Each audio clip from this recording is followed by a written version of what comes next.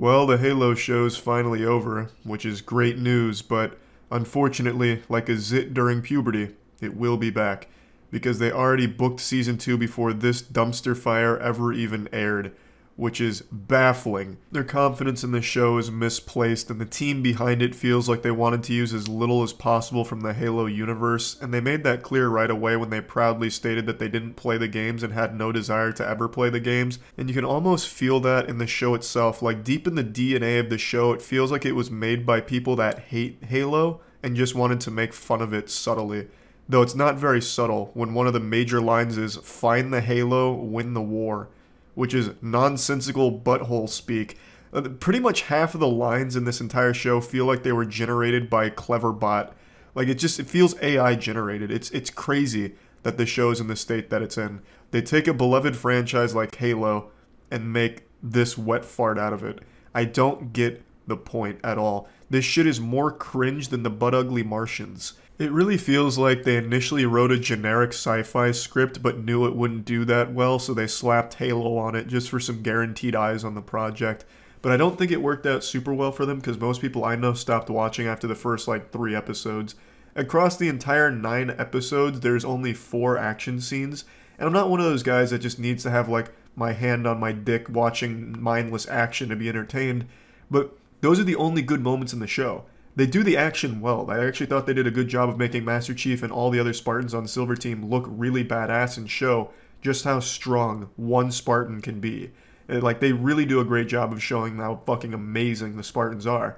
So that's when the show's at its best, when it's just giving you action. Everything aside from that is so bad. Now, I already made a video on Halo up until episode 8, but now that episode 9 is finished, this is just going to be like a little moist meter for it. So episode 9 is actually one of the better episodes of the series, which isn't exactly high praise because the whole series is bad, so it's like comparing shit to poop.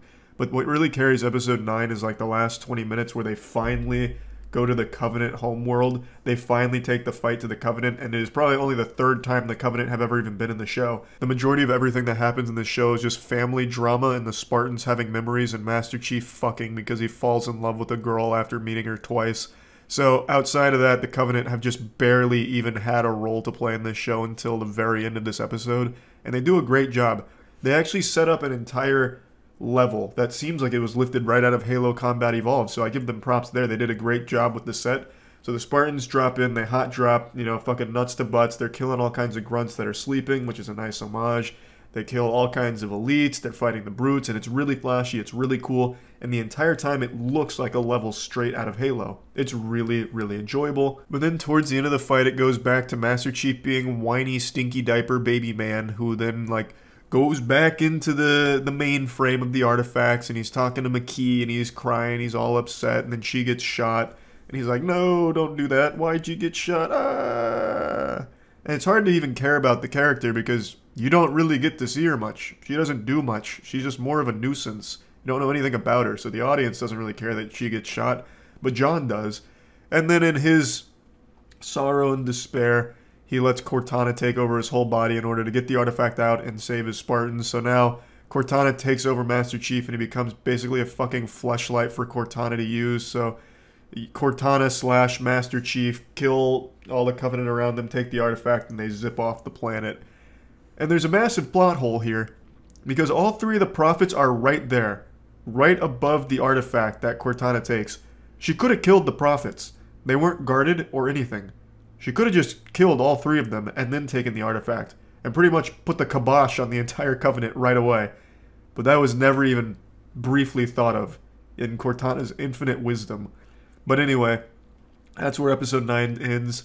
Everything before that is just more boring garbage where it's Halsey's doing questionable moral things and then they're trying to hunt her down and kill her for all of her crimes but she manages to elude them, and then at the end you see her plotting to to propel humanity forward to the transcendence and shit like that.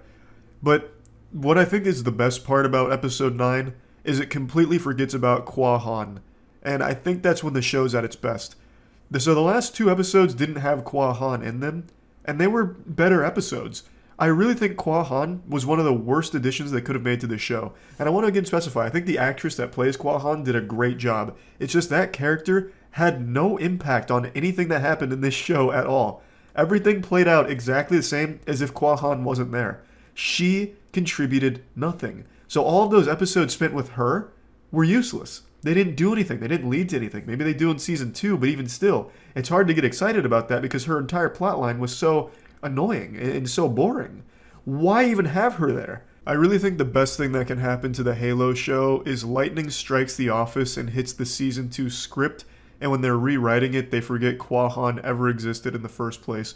Or even better, they don't even bother rewriting season 2 script and just chalk it up as just a loss, and then we only had to deal with one insultingly awful season of this show. That would probably be the best case. Anyway, plugging the Halo show into the moist meter, I'm giving it a 30%.